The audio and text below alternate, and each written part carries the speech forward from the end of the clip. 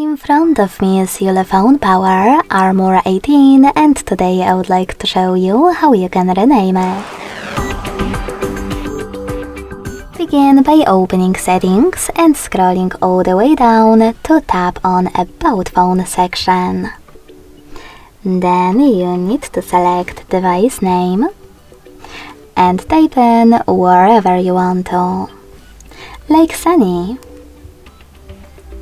When you finished, hit OK in the pop-up and confirm your choice by tapping OK in the second one, this time about visibility.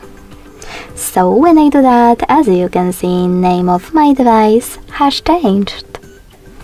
Thanks so much for watching. If you enjoyed this video, leave a like, comment and subscribe. Bye!